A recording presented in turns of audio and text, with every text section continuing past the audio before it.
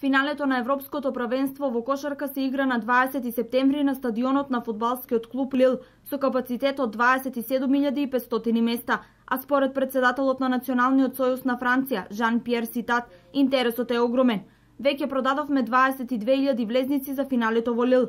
Наша цел е да ги продадеме сите карти за овој меч и се надевам дека Франција ќе се пласира во големото финале, изјави првиот човек на тамошната федерација. Евробаскетот почнува на 5 септември и групната фаза на надпреварувањето ќе се одржи во 4 земји: Хрватска, Франција, Германија и Летонија. Македонија ќе игра во групата С во Загреб заедно со Хрватска, Словенија, Грција, Холандија и Грузија.